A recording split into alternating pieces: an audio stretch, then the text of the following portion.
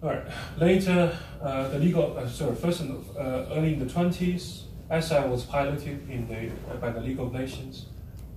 Uh, the League of Nations is not a national organization that the United States has called, to, called for, for establishing.